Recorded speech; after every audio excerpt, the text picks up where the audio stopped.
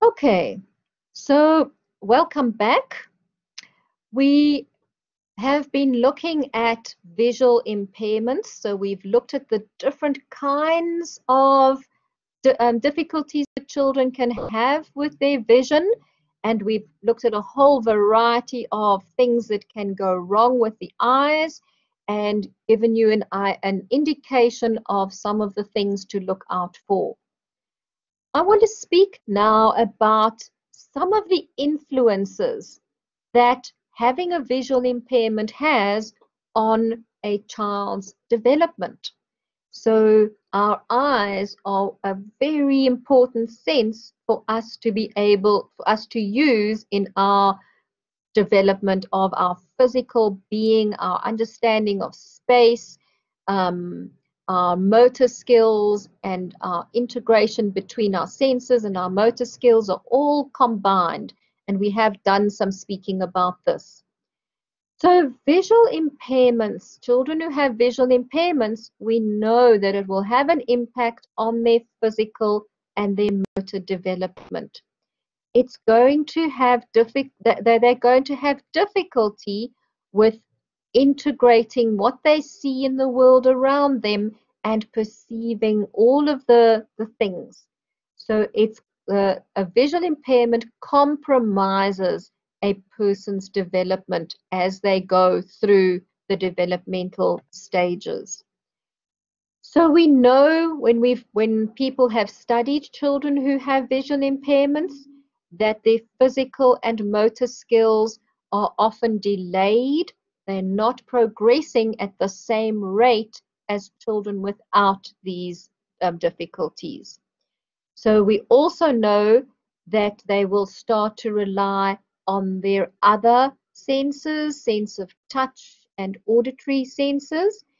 And often children with visual impairments are um, not moving around as much as their um, peers who are not visually impaired. So because a little baby is not moving and crawling and exploring the world as much as they should, they don't develop the same control over their head and their neck and their um, trunk and their posture as what a child with um, adequate visual functioning would do. We also know that they can have difficulties with establishing directionality and laterality. So I've spoken to you before about laterality. We've got two sides of the body and we've got um, two hemispheres of the brain crossing over and we have a midline. So we need to be able to use both sides of our body and we need to be able to um, know where our position, where we are in space and which direction we're following. And so there are lots of things that are going to be compromised when a person's field of vision is damaged or when they have some kind of acuity problems with their vision. So they're not going to develop the same um, gross motor and fine motor skills as a child who has um, adequate vision.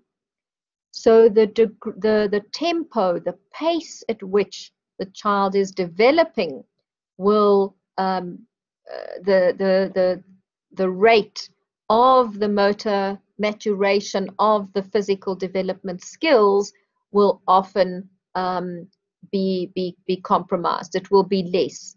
So they will not reach their milestones. So children, um, little babies, when they're developing, they've got various things which we call milestones that have to be um, put in place. So they have to be able to raise their head, to sit up at a certain age, to pull themselves up uh, on some furniture, to stand up at a certain age, to be able to walk at a certain age. It's, these are key milestones in development that happen if there is adequate vision and motor feedback and the child is developing adequately. So if any of those, um, if any of the vision is compromised, the physical milestones are often delayed and it can be an indication that there is difficulty with the child developing vision, visual motor integration together. The other area that is compromised often is perceptual development. And we had unit two, we spoke a lot about perception.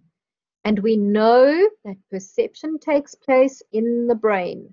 So you have the stimulation coming in from all your senses, and we had a whole lecture on the senses, and you have to integrate all the information. You have to make meaning of what is coming in so that the brain can understand the world that we live in.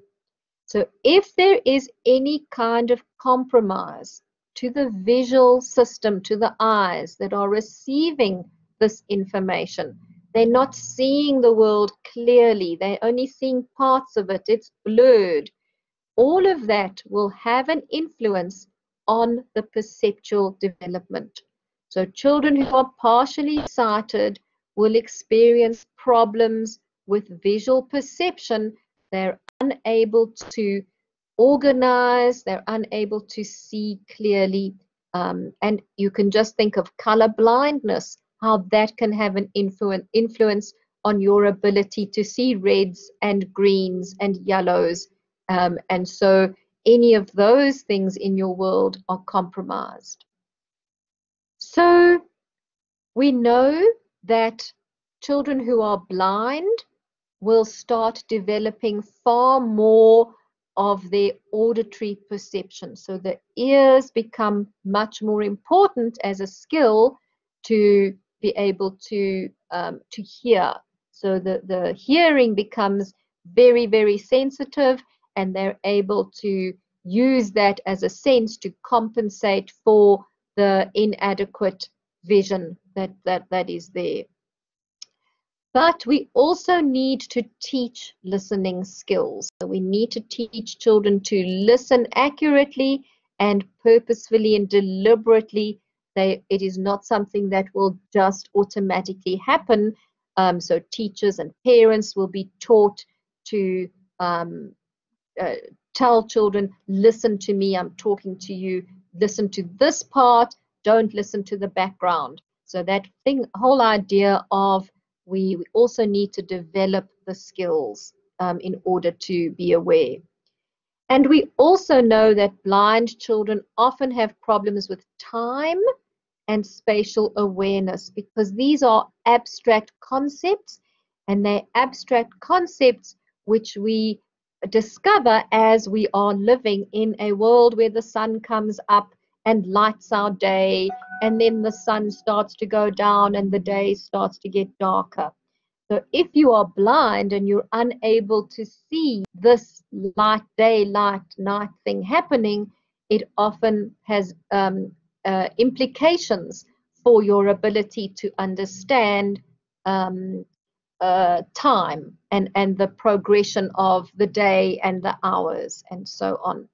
I know um, children who um, are blind will often and, and who have some residual light um, that, that can sense some kind of light will be um, will think if, if there's a thunderstorm and the day is getting dark they will think that it is either they are that the, the, the day is shorter or they will sometimes think that their vision is getting far worse. So they get um, fearful because the, the vision is deteriorating. And so the, the more darkness you start to see, the, uh, the more trauma it causes for the person, obviously. We, we know that it's very hard to be um, a blind person. Okay, so understand that time, space, perceptual, everything to do with how you perceive the world is going to be compromised. The other area that we know um, will have some kind of difficulty is language and cognitive development and vision plays an important role in your your understanding of language um, because we understand language not only through our ears but also through our eyes. We are looking at people's facial expressions, at their gestures, at their lips when we are trying to make sense of what they are saying all the time. So children who are blind or partially sighted are disadvantaged because they're not able to see a situation in its totality very quickly and um, quickly make a sum of what's happening. So often abstract language um, can be delayed, and so this will also need to be taught, um, overtly taught. And um, we will often use words which blind people do not have a clear understanding of. So if you talk about pink and if you talk about um, this is light or dark when you're referring to um, different shades of colors, for instance, the uh, a person who is partially sighted might not have a clear understanding of what we mean by all of those terms. So often they, there's words in the vocabulary we have, but the person who's visually impaired hasn't got a clear sense of what that word actually means and what and, and a clear understanding of it. So we know that physical development is affected, milestones are affected, perceptual development is affected, language and cognitive development. And we also know that social and emotional development is affected um, of learners who have any kind of visual impairment. So we are learning our social skills. We're learning to interact with people by the cues that we get from everybody, and we pick up a lot of our cues from um, people's, um, from looking at people.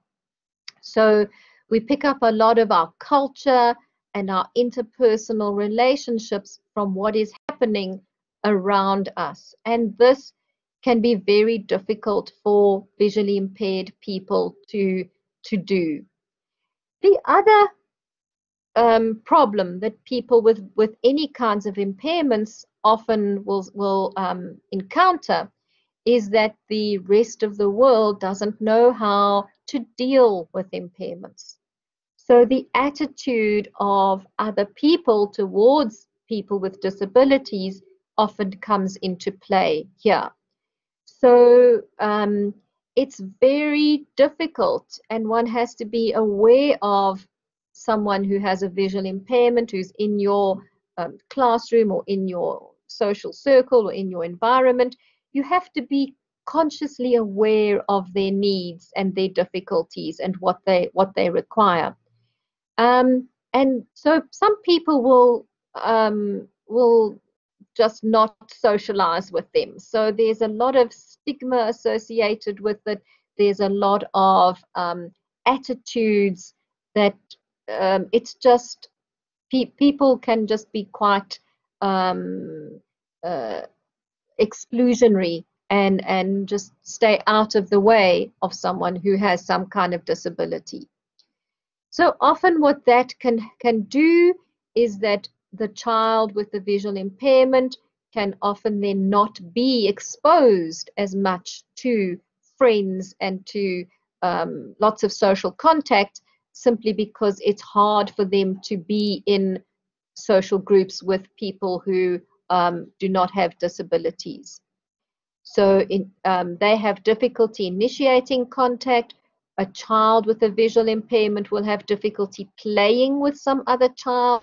They can't do the usual um, playing games and um, hide and seek and riding bicycles and all the things that a, an, a visually competent child would do.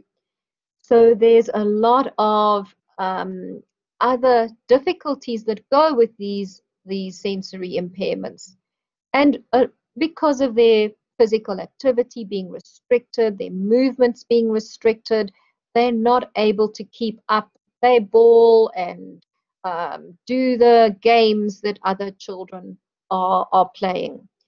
And often we know from research that children with any kind of disability are often excluded and they'll become lonely and they're not part of social groups. So if you do have any children with any kinds of visual difficulties in your group, your classroom, anywhere, please be aware of the implications of the visual impairment, the implications for their social and emotional well-being.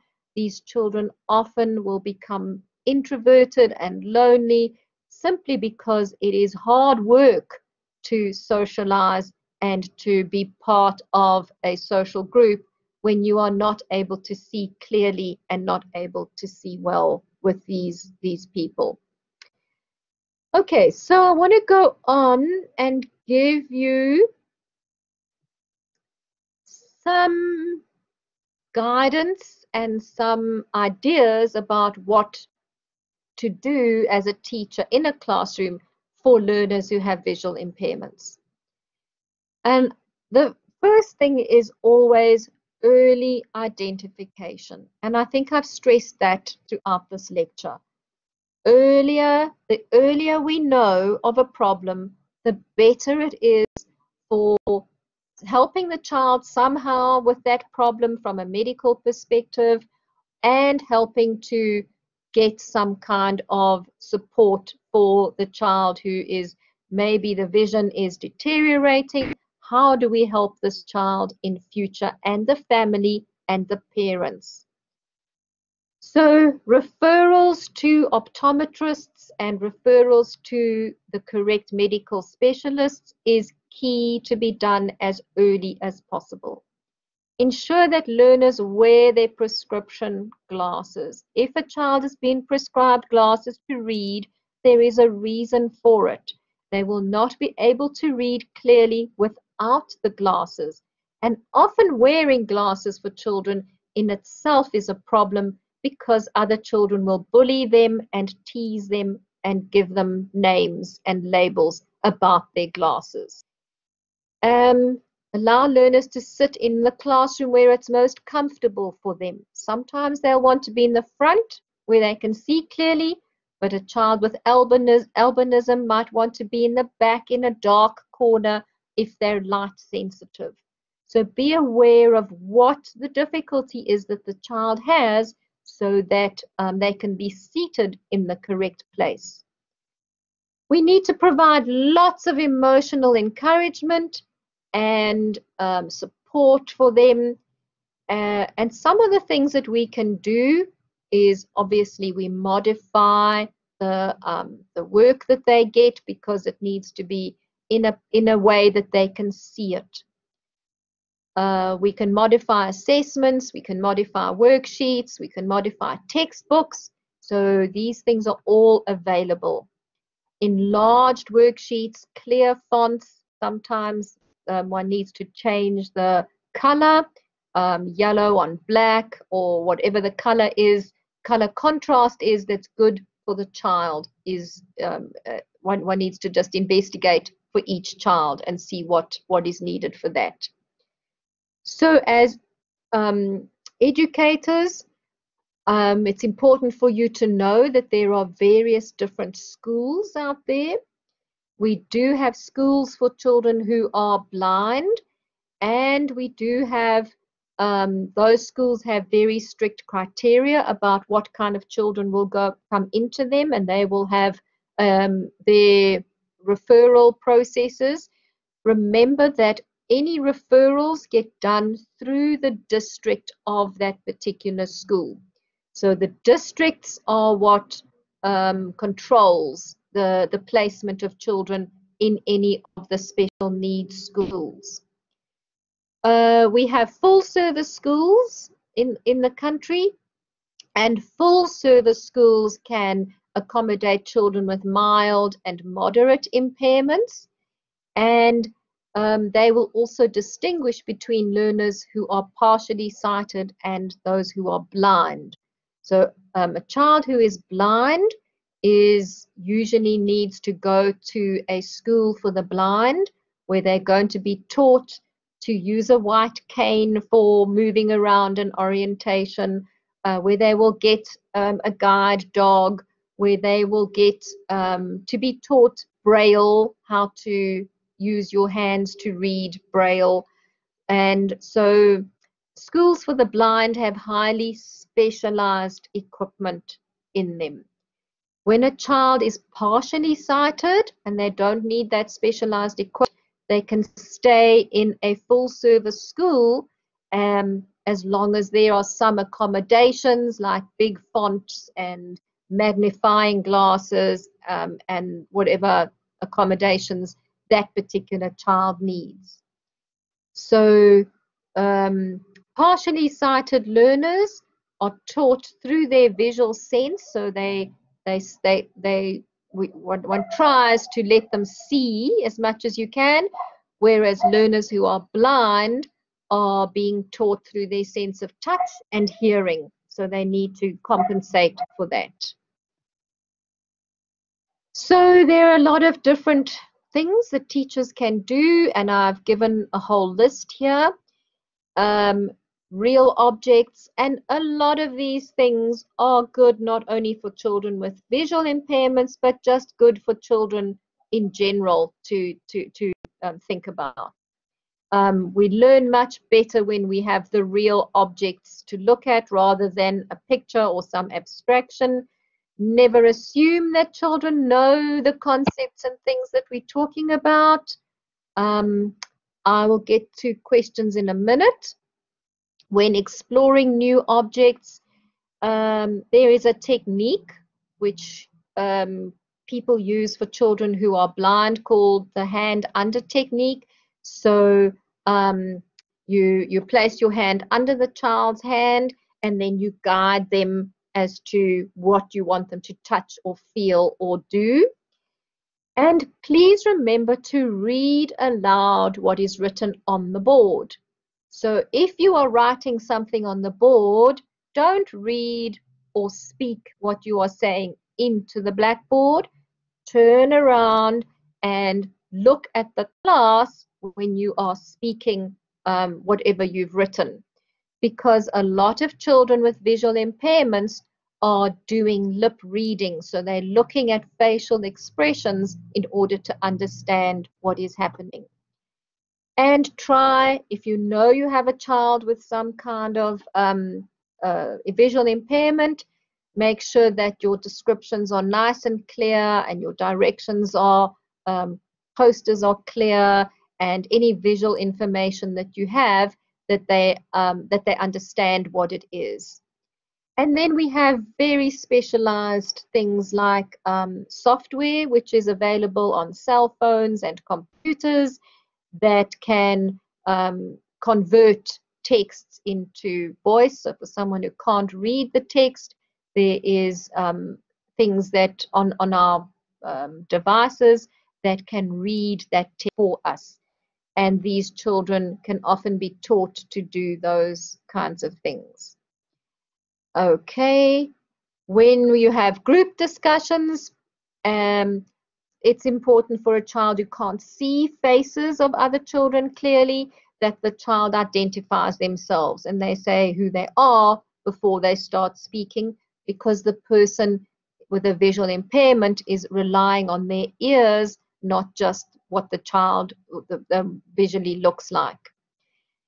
Use contrast well and use color combinations that are best for the child and be aware of glare. So often the lighting in a room can be um, cannot be good for children. So they, they might um, not want bright sunshine and things that are very bright and very dark places in a classroom. That's not good either. And then um, don't ask someone if they can see something. You need to ask them, what can you see?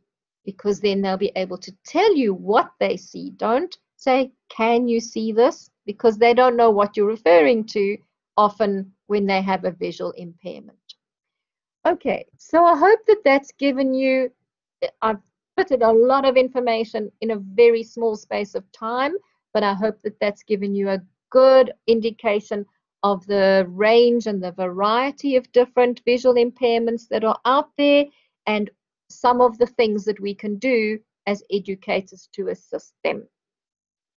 Right, so I see there is a question on the chat. Let's get to that. And if you have any questions, please post them on the chat so that I can answer them.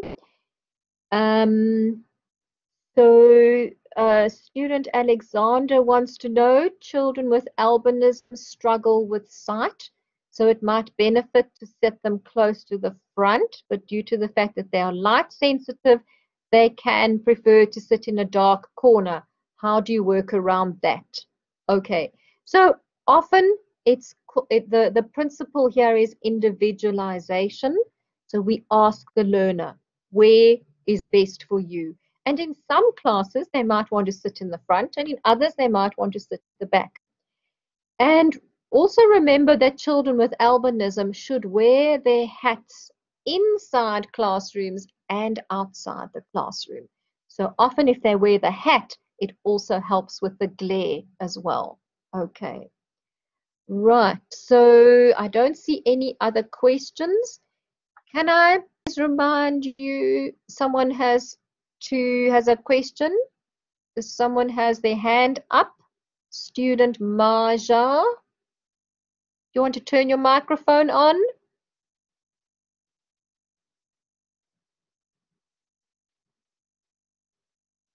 No, not coming to speak to us.